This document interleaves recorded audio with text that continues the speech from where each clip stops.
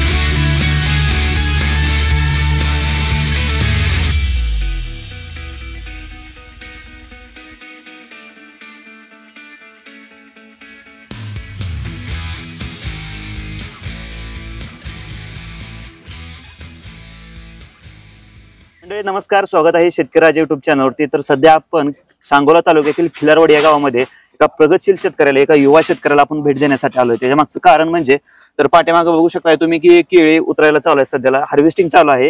तर ह्याने अतिशय उत्कृष्ट प्लॉट आणलेला आहे ह्याने. तर यांच्या केळीच्या बागेमध्ये एक एक घड साधारणतः पंचेचाळीस ते पन्नास किलो पर्यंत घड आहेत. आपण वजन सुद्धा करून पाहिलेलं आहे. आणि विक्रमी दर सुद्धा किलोला तीस रुपये दर गावलेला आहे. तर कशा प्रकारे त्यांनी हे किमिया साधलेले आणि कशा प्रकारे यांनी लागवड केलेली आहे याचं वजन एवढं कशा प्रकारे भरलेलं आहे? तर इथपर्यंत त्यांचा प्रवास कसा होता? सर्व माहिती आपण या प्रगतशील शेतकऱ्याकडून युवा शेतकऱ्याकडून जाणून घेणार आहोत.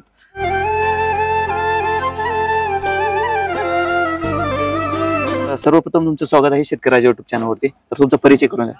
माझे नाव प्रथमेश बाळासो नागणे राहणार खिलारवाडी तालुका सांगोला. ह्याच्या आधी कधी केळीची लागवड वगैरे केली होती का तुम्ही? हो केली मागच्या वर्षी.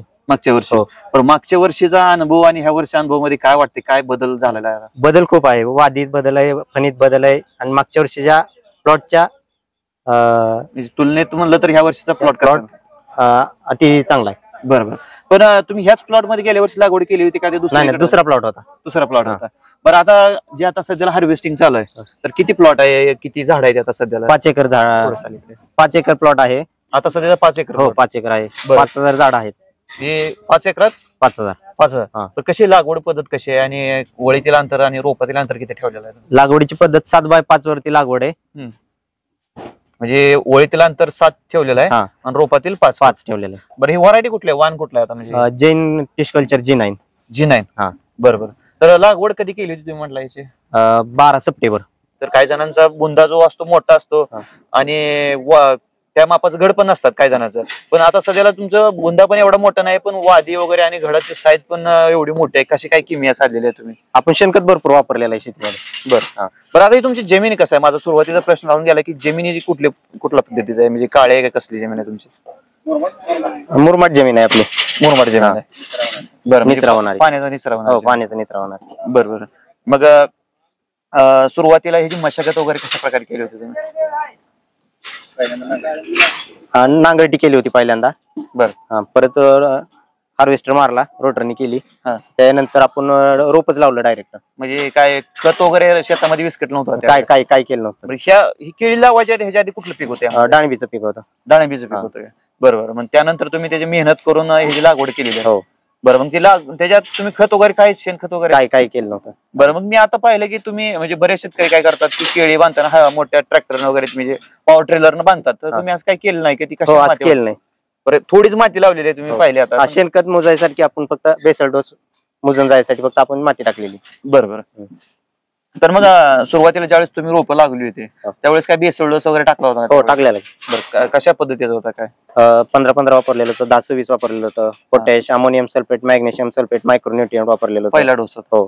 बरोबर मग त्यानंतर अं, तुम्ही लिक्विड वगैरे कुठली सोडली होती कुठल्या कंपनीची लिक्विड सोडली आता हो. सध्या आपण काय कुठल्या कंपनीची जाहिरात वगैरे करत नाही आपण वॉटर सोबल सोल्युबल वापरलेत आपण तसं काय नाही एकाच कंपनीचे वापरावं असे आपण वापरलेत याराचे वापरलेत वनिताचे वापरलेत आयसीएल चे वापरलेत हम्म, हम्म, हम्म. म्हणजे वेगवेगळ्या कंपनी तुम्ही हो, अं, कंपनीचे हा, हा. वापरले मग त्यामध्ये कुठले कुठले वापरलेत तुम्ही बारा एकसठ वापरले कॅल्शियम नायट्रेट वापरले हम्म, हम्म. तेरा झिरो पंचेचाळीस वापरले म्हणजे तुम्ही वेगवेगळ्या कंपनीचे एकाच हो. कंपनीने वापरता वेगवेगळ्या एका कंपनी कंपनीचे कधीच नाहीत वापरले वेगवेगळ्या कंपनीचे वापरलेत वेगवेगळे ग्रेड वापरलेत बरोबर हो. मग अं, ह्यामध्ये अं, आता आता सगळे वेगवेगळे वापरते त्यामुळे कुठल्याचा चांगला गुण पडला ते काय सांगताच येणार नाही. हो. बरं मग किती दिवसाला तुम्ही हा वॉटर सोलेबलचा डोस करत होता? साधारणपणे आपण वीस पंचवीस दिवसाला वॉटर सोल्युबलचा डोस करत होतो. बर. मग आता ज्या वेळेस ह्या घडांची वेन झाली हो. मग त्यावेळी त्यानंतर तुम्ही अं, कुठलं लिक्विड वगैरे वापरायचं चालू केलं होतं? तिथून मग आपण बारा एकसठ एकदा वापरलं. हा. तिथून कॅल्शियम नायट्रेट चालू आहे मायक्रोन्युट्रिएंट चालू आहेत. बरं. मग ती सुरुवातीला मुळे वाढ वाढ होण्यासाठी काही एक दोन महिन्यामध्ये ते ख- वापरतात लिक्विड वगैरे. तर तसं काय तुम्ही वापरलं होतं काय ड्रेंचिंग केलते की आपण? पहिला एक महिना ड्रेंचिंग केलते. बरं. मायक्रोन्युट्रिएंटचे केलते एनपीकेचे केलते हा. स्लेरी केलते. बरं बरं. हा. म्हणजे ड्रिपद्वारे तुम्ही का असं नाही, पंप नाही. पाठी पंप हा कंपनी बरोबर आता सध्याला ह्या अवस्थेत आहेत अं, स- जास्तीत जास्त बऱ्याच प्लॉट वरती तांबिरा येतो किंवा डाग वगैरे पडतात. तर असं या नियंत्रण करण्यासाठी तुम्ही काय उपाययोजना केली तांबेऱ्यासाठी आपण आम्ही टॉप मारलाय. परत कस्टोडिया घेतलेला आहे. परत दानुकाचं लस्टर नावाने एक येत आहे हम्म. परत दानुकाचं जेनिट नावाने एक येत आहे हम्म. त्यासोबत कीटकनाशक घ्यायचं. फक्त जेनिट सोबत कीटकनाशक घ्यायचं नाही. हम्म, हम्म, हम्म. बाकी सगळ्या सोबत कीटकनाशक आणि चालते मच्छर वगैरे मच्छरचं डास म्हणजे हा. ते डाग वगैरे पडतात मच्छरसाठी आपण घेतले सुपर कॉन्फिडर आणि जेनेट. रिजेंट घेतलेलं होतं आपण. मच्छरसाठी. मच्छरसाठी काय घेतलं होतं? रिजेंट आणि सुपर कॉन्फिडर बरोबर बुरशीनाशिकासोबत. बुरशीनाशकासोबत. बरं मी अं, कोणत्या अवस्थेत असताना घेतलं होतं तुम्ही? नाही आपल्या प- आठ दिवसाला फवारण्या चालूच आहेत. चालूच आहे हा, कंटिन्यू हा, आठव्या दिवशी फवारणी चालूच आहे आपली. म्हणजे हार्वेस्टिंग होईपर्यंत तुमची हो. ती फवारणी अजून चालू- फवारण्या चालू आहेत आपल्या आज हार्वेस्टिंग असल्यामुळे बंद आहे. बरं बरं बरं.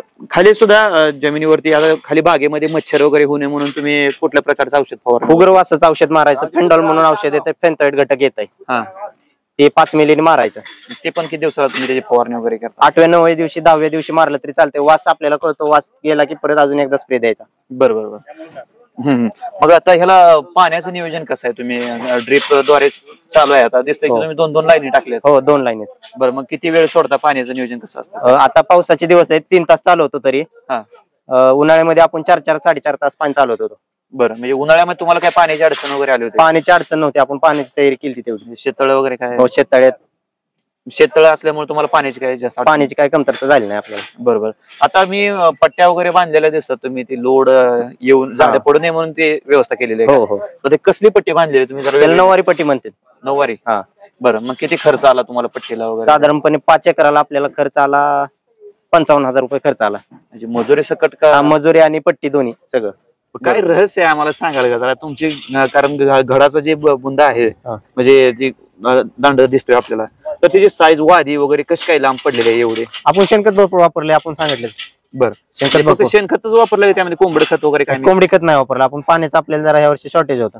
बरं बरं. त्यामुळे आपण पाण्याचा विचार करून आपण कोंबडी खत वापरलं नाही. म्हणजे सेंद्रिय खत वापरल्यामुळे तुमचा चांगला मान पडलेला यावेळेस हो. बरोबर बरोबर मग आ, किती महिन्यात कंप्लीट तुमचा प्लॉट हार्वेस्टिंगला आलेला आहे सध्याला? साधारणपणे नऊ महिने होत आले असतील आपले.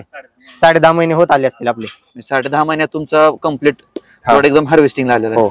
तुम्ही जे एका एका घडाला किती किती फणे ठेवलेले आहेत साधारणतः? साधारणपणे आपल्या अकरा बारा अकरा बारा पाणी आहे अकरा बारा. हो. म्हणजे त्याच्यावरती जास्त नाही? नाही जास्त नाही. आणि बुंदेची साईज वगैरे किती आहे सध्याला आता? अं, बुंदेज- चाळीस इंच बुंदेज साईज आहे. चाळीस इंचापर्यंत. हो.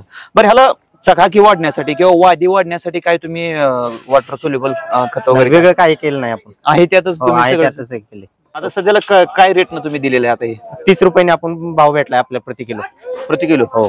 बरं मग आता हे सगळाच तुम्ही प्लॉट दिलाय का? तीस रुपयाने का? नाही नाही एक गाडी दिली फक्त दहा टन. आता ही दहा टनाची गाडी आहे का? हो दहा टन गाडी. बरं कुठले व्यापारी आहेत? काय म्हणजे अं, व्यापारी आहेत देवानंद गोडसे युतीचे. युवतीचे हा. बरं बरं मग त्यांनी त्यांना तुम्ही माल विकला हो माल दिले. बरं बरं साधारण अं, मगाशी आपण वजन बघितलं का बघितलं तर किती भरतंय? आता तुमच्याच तोंडून सांगा कारण मी व्हिडिओमध्ये सांगतोय चाळीस पंचेचाळीस किलोची आपली र- रास बसल.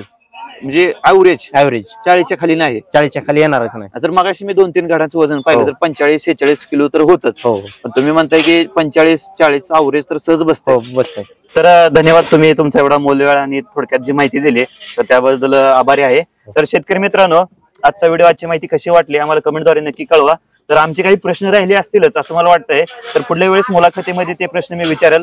भेटूया पुन्हा एकदा नवीन माहिती नवीन व्हिडिओ घेऊन. तर व्यापारी पण आहे आपण व्यापाऱ्यासोबत पण चर्चा करूया दराबद्दल कशा प्रकारे काय सगळं मार्केट काय चालू आहे आणि कशा प्रकारची खरेदी विक्री करतात याबद्दल थोडक्यात चर्चा करूया त्यांच्यासोबत. तर शेतकरी मित्रांनो हेच व्यापार आहेत की या शेतकऱ्याचा हा माल खरेदी केलेला आहे तर कशा प्रकारे त्यांनी खरेदी केलेला आहे थोडक्यात माहिती जाणून घेऊया. तर नमस्कार स्वागत आहे तुमचं. नमस्कार. तर परिचय करून द्या ना आपला. मी देवानंद पोपट गोडसे राहणार येवती तालुका मोहोळ जिल्हा सोलापूर. बरं किती रुपयाने खरेदी केलेला आहे आता ह्या शेतकऱ्याचा माल तुम्ही? शेतकरी बाळासाहेब नागणे खिलारवाडी गाव. हम्म.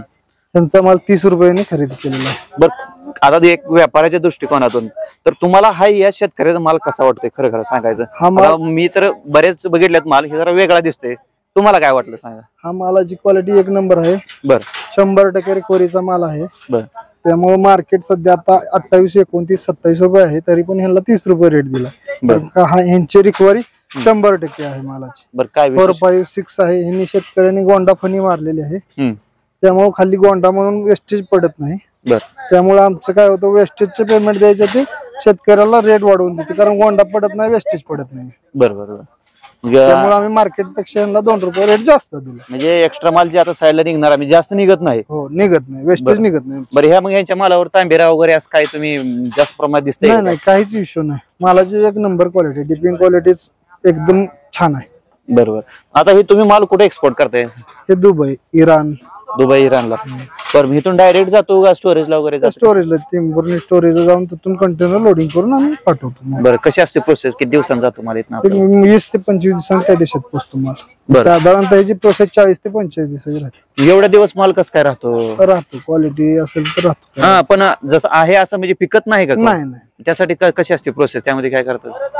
त्यामध्ये काय ते आपलं इथनॉल पाऊच असते परत व्हॅक्युम असते हवा काढल्यामुळे आणि स्टोरेजमध्ये कूलिंगमध्ये असतो माल. त्यामुळे जास्त दिवस माल टिकतोय. लाईफ लॉंग वाढते त्याची. बरोबर मग तुम्ही आता कुठलं कुठलं माल खरेदी वगैरे करताय सध्याला? सध्या म्हणजे आपण या सोलापूर जिल्ह्यात सोलापूर जिल्ह्यातलं. ओके धन्यवाद तुम्ही तुमचा एवढा मौल्यवान वेळ आणि माहिती दिल्याबद्दल खूप धन्यवाद.